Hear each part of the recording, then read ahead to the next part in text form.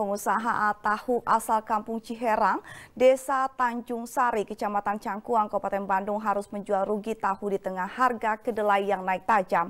Hal tersebut terpaksa dilakukan karena pengusaha tahu tidak ingin kehilangan pelanggannya yang sudah tersebar di sejumlah pasar tradisional. Puluhan produsen tahu di Kampung Ciherang, Desa Tanjung Sari, Kecamatan Banjaran, Kabupaten Bandung, merugi akibat naiknya harga kedelai yang mencapai Rp9.980 perak per kilogram dari yang biasanya Rp6.500 sampai Rp7.500 per kilogram. Harga bahan baku pembuatan tahu dan tempe tersebut melonjak diperkirakan karena jatuhnya nilai rupiah terhadap dolar Amerika, padahal sebagian besar kedelai diimpor dari Amerika Serikat. Akibat kenaikan harga kedelai yang sudah berlangsung hampir seminggu terakhir, pengusaha tahu terpaksa mengurangi ukuran tahu menjadi lebih kecil karena tidak ingin pelanggannya berkurang dampak dari naiknya harga kedelai.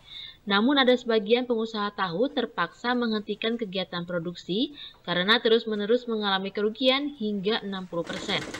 Menurut salah seorang pengusaha tahu, Rohan Dasodikin, penurunan produksi tahu sudah dialami pihaknya sejak awal Agustus sudah mengurangi produksi tahu.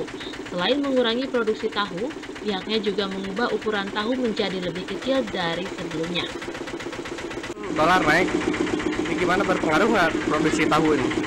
Ngaruh normal mah kena ribu pegang teh jadi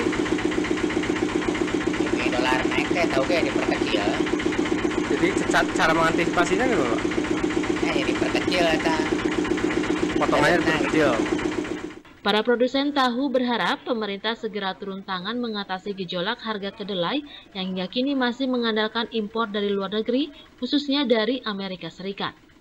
Rezi Tia Prasaja, Bandung, TV.